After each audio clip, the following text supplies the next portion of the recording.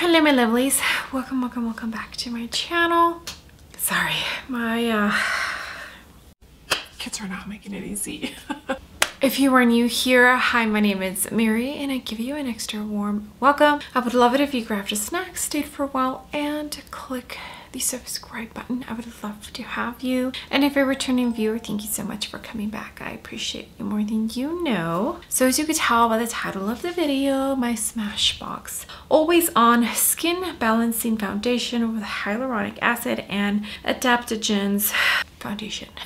here so we're going to uh, try this foundation out do a little bit of a wear test um, and see if it's a good one. I figured with all the claims it has it could be a possible contender for my wedding day. Uh, so far i have three different options that i absolutely love so i really want to test this out to see if maybe this is the one. I also purchased the new real techniques uh, sponge that they just came out with. It's a miracle two-in-one powder puff. You're supposed to be able to apply powders and liquids with this bad boy. Kind of reminds me of the good old Tati Beauty one that she came out with. Okay, let's get started because this intro is already longer than I wish it was.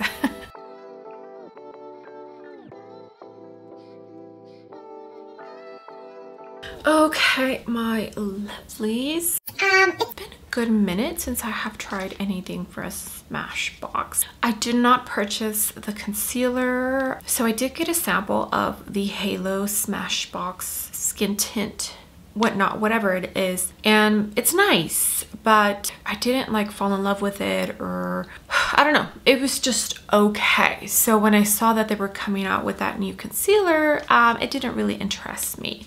But when they announced this bad boy right here, I was like, okay, now that interests me. Since I am on the hunt for the perfect foundation for my wedding day, that's why.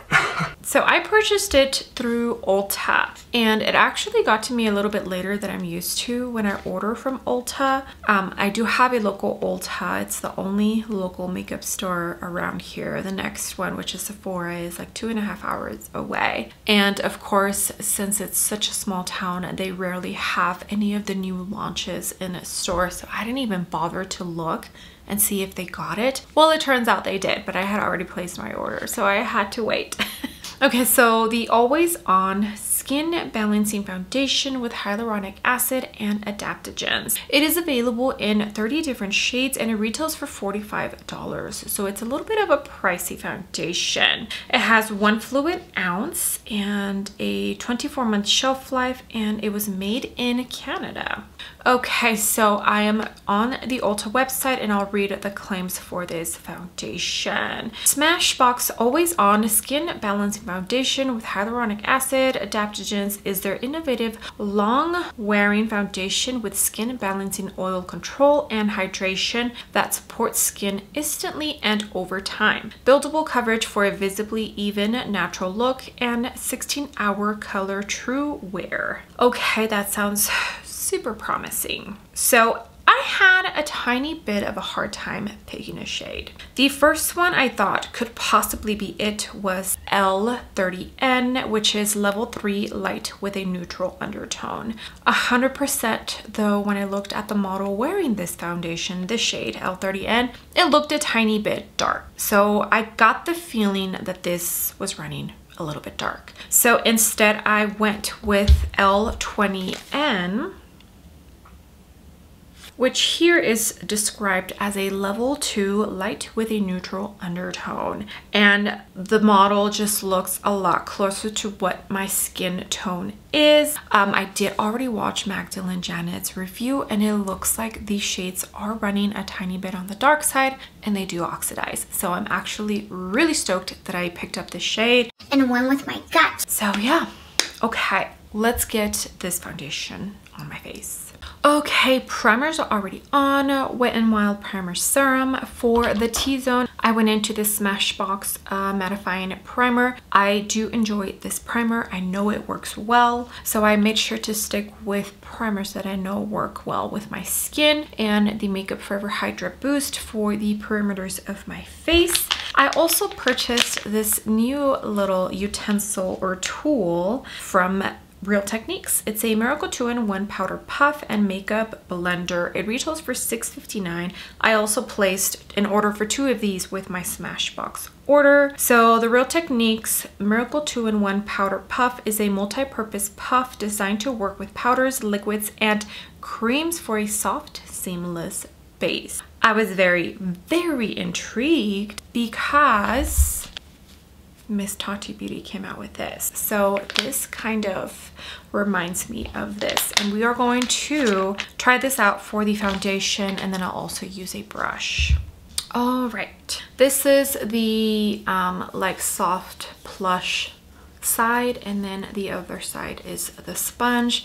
It does have the little ribbon so you can hold it. It does feel like a sponge. Okay, I wonder if you should wet this I mean, I usually wet my sponge, so that's why I'm like, should I wet this? okay, here is what the bottle for the Smashbox foundation looks like. It does have a pump. Let me shake it. Okay, you can hear it, so maybe it's a tiny bit liquidy. Hopefully the pumps are too big. Okay, perfect.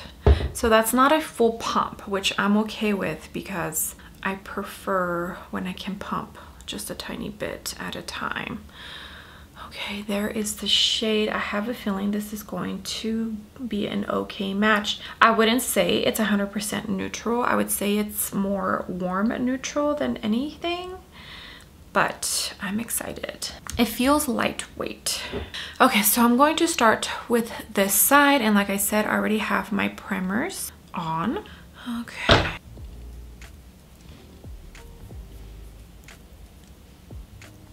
I like starting small. So I'm going to grab the Real Techniques and I'm actually going to spray it with the MAC Fix Plus. Just because I personally wet my sponge, you know? So it just doesn't feel right to go in with a dry sponge.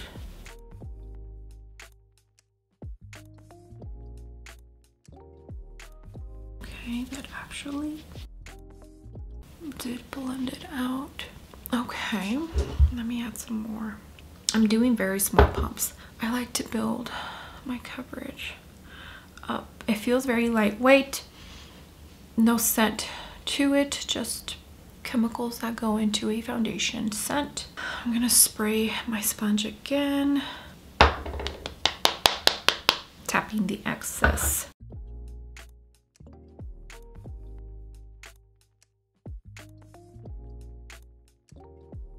And I think because I'm going in layers and going in light, it's actually applying really, really nice. It does not look heavy at all. Okay, so here is what half of the face is looking like. So I have foundation on this side and no foundation on this side. I would say I have even though I used half a pump, I think it was about half a pump, I do feel like the sponge absorbed some of it, not too much. I definitely feel like if I wouldn't have sprayed setting spray on it, it would have absorbed more, but I am not mad at what I'm looking at. I feel like this actually worked decently. It blended out everything pretty well. I feel like the foundation is sunk into my skin yeah, so far so good. So I feel like if you are somebody who travels a lot, this might be a pretty neat little tool because you have a sponge on one side and then if you powder with a puff, you have it on the other. I bet you you could probably use this side for your cream blush, cream contour, cream bronzer. So far, so good. I think, I think they might have nailed it. yeah that looks good. Okay let me go ahead and apply this side and I am going to use my Smashbox stippling foundation brush and see if it looks any different with the sponge than it does with a brush. I have a feeling I'll probably get more coverage with the brush than I did with the sponge but let's go in. And so far I feel like the color match is decent. I left the swatch on here so we could see if it oxidizes and I feel like it does get a tiny bit darker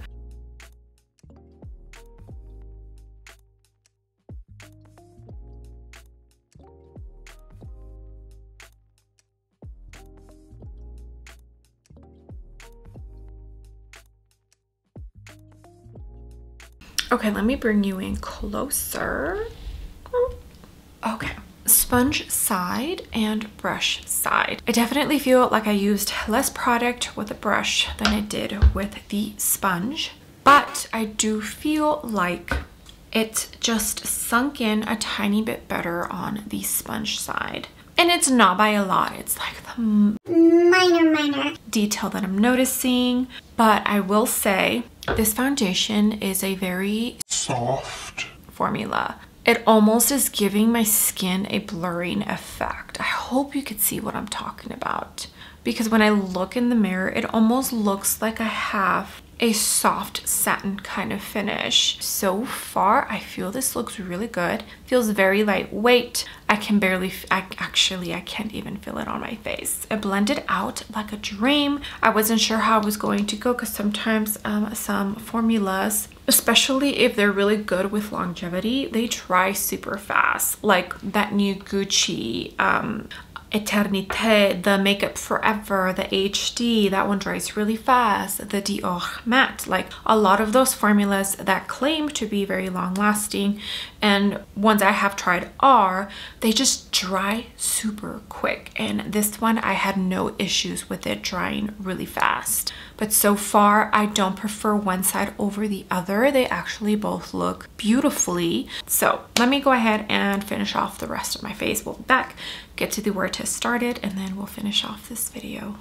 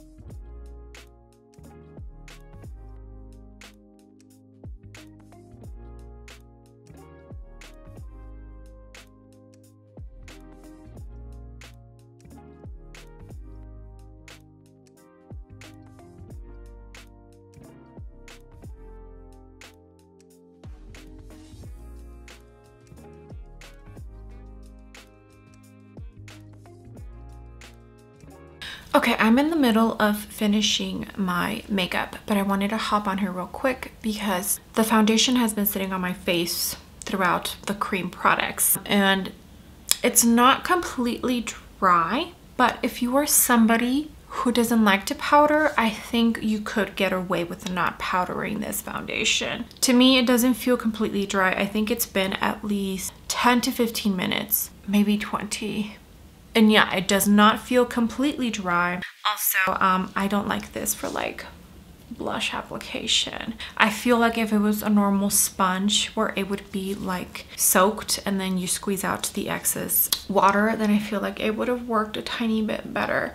Yeah, it just, it did okay.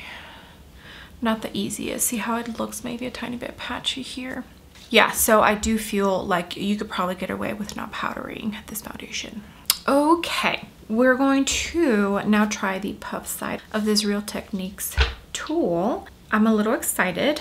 I'm always on the search for that perfect puff because I feel like I found it, the Tati Beauty I have both the regular big one and the little heart mini one. Those are my favorite puffs for powdering under my eyes. I have not found one that I love as much as those. I don't know if it's the material. It must be the material, but it just, it does such an amazing job. So I have set to my under eyes with my MAC Fix Plus and for today we're going to use the NARS uh, Translucent Crystal Pressed Powder and I'm going to I always tap the excess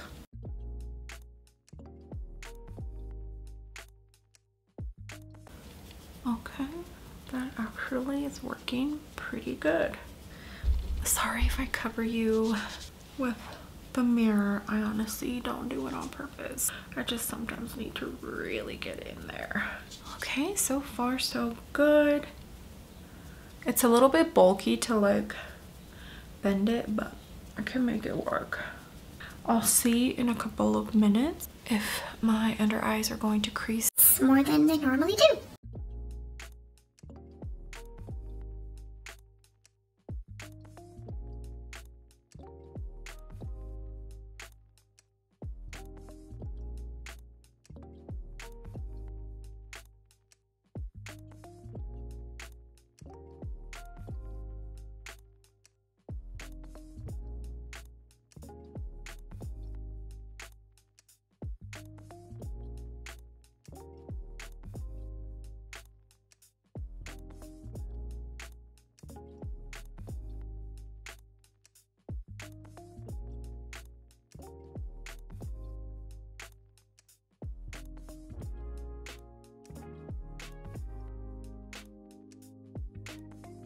Okay, my lovelies, we're just about done. I went in to the e.l.f. Uh, Precise Brow Pencil, the Refy Beauty Gel, not the new one, the one that's supposed to give you the lamination effect.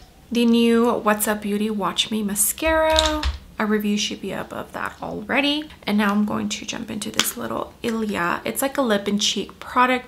I've actually been loving this as like a lipstick. The shade is so, so pretty. KKW Honey 2. It just looks so good with this lip liner. Let's take a look. I will go ahead and link everything else that I used down below, but let's take a look at this complexion, shall we? Okay, so here's what the foundation looks like. And as you saw, I did powder it. I always have to powder. what do my um, under eyes look like? My under eyes actually look really, really good. Foundation also looks really, really good. Why don't you tell me what you think? Right now, I feel like it looks like a soft satin matte. I feel the shade match is good shade match. Okay, let me scoot you on out. We're going to do a wear test. I finished applying the foundation around one o'clock. This Real Techniques tool, I bought two of them. Is there like a specific name for them? No, there's no specific name. But I think they're onto something. I will have to keep using it. I definitely feel like it's a tool that you have to maneuver and figure out how you like to use it best. I So this is, you know the Real Technique sponge? That's what this is here on this side. I don't know if I usually wet my sponges. That's how I enjoy to use my sponges. And the fact that I can't wet this whole thing because it's going to ruin the fiber side. And not ruin, but like I can't really set my under eyes with a wet puff. At least I haven't tried. Or it did what it said it was supposed to do. If you are going to try this out, I would definitely say spray the sponge side before going in with your products.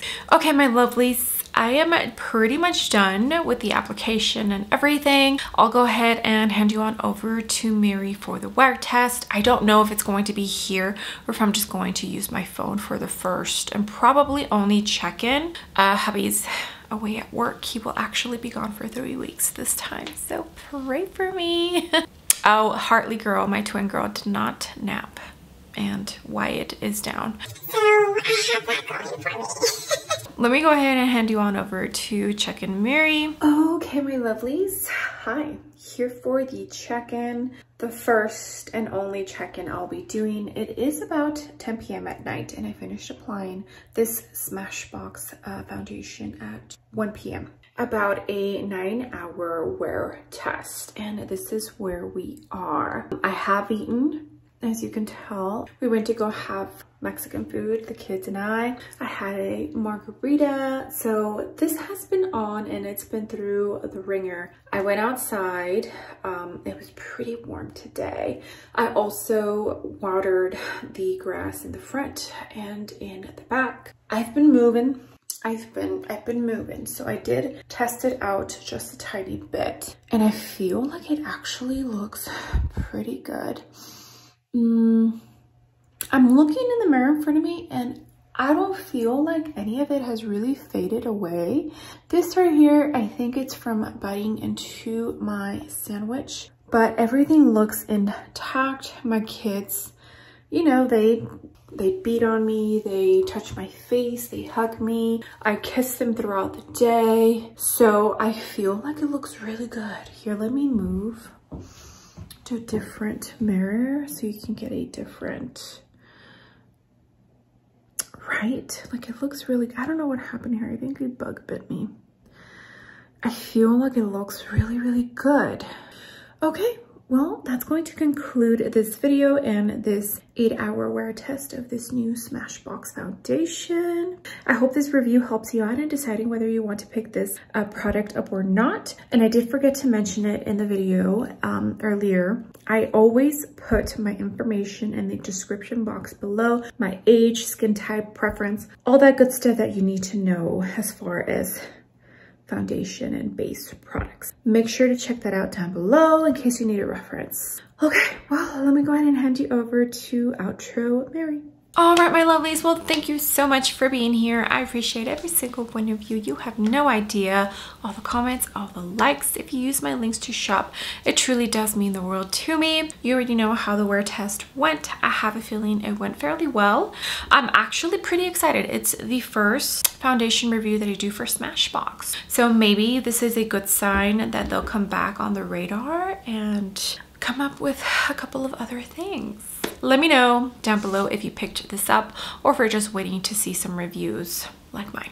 Okay, well with that being said, I would love it if you gave this video a big thumbs up. I would greatly appreciate it and you would definitely help me out in the algorithm of hopefully bringing some new and fresh eyes to my channel. And if you haven't done so already, I would love it if you joined my small YouTube family by clicking the subscribe button. I would love to have you.